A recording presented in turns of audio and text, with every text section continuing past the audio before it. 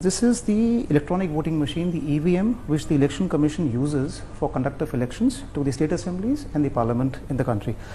EVM basically consists of two parts. This is the control unit, the CU, and this is the ballot unit, this is the BU. Now, what happens is the ballot unit is kept in the voting compartment. This is the voting compartment so that we have secrecy of vote here in the country.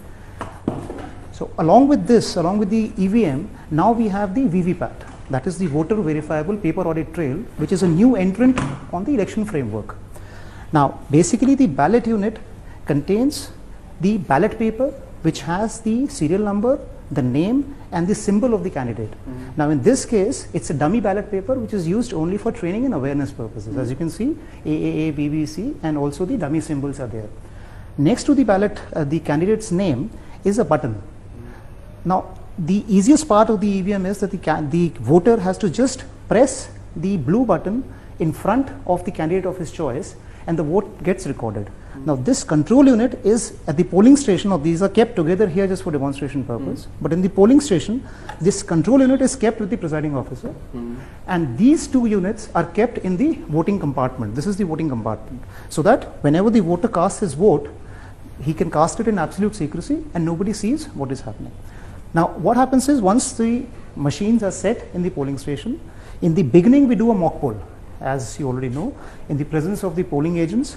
So 50 votes are, cost, are cast in the machine and after that the votes are counted through the control unit and also the slips are taken out from the VVPAT and they are tallied just to make sure and ensure all the participants that the machine is functioning absolutely accurately and there is nothing amiss here. Now how the vote is released, basically the presiding officer what he does is he just has to press the ballot button here.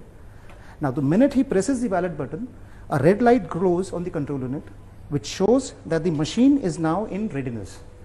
The minute the red light glows here, there is a green light, the ready light which is there on the ballot unit. This is the ready light.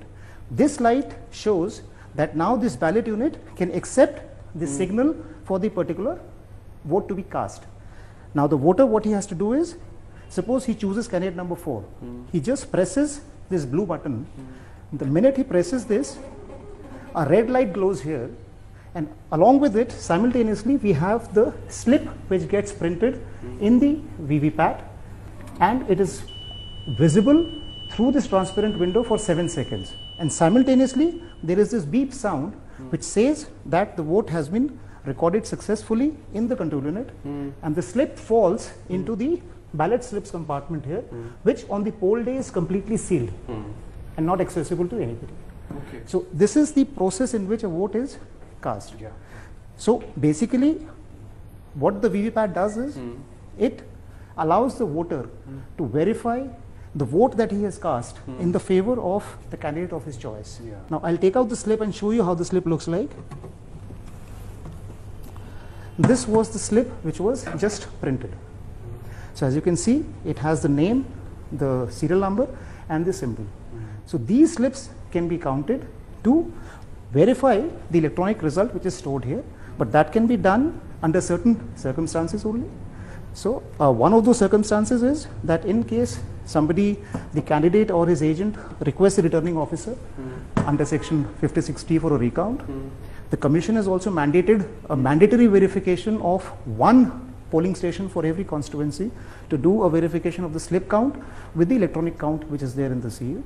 Plus, of course, if somebody goes in the election petition, so on the orders of the Honorable Court, the slips can always be taken out and the count verified with the controller. So, this is basically the architecture of the EVMs Great. and the VVPATs. And this entire setup is not possible anywhere because a lot of time allegations are made that you can get it from anywhere and you know this is hacked, this can be hacked and this can be tampered with. Uh, see, uh, the EVMs which are used by the Commission are completely standalone, non-networked, non-tamperable, robust and integrity, machines with integrity and credibility. There are two pillars on which this entire framework stands. One is the technological safeguards which are there in the design and technological features of the CU, BU and the VVPATs. The other is the detailed administrative protocols, security framework and procedural guidelines that we have installed around the EVM ecosystem which prevents any unauthorized access to these machines by any unauthorized person. So these machines remain under the control and custody of the election officials at all times.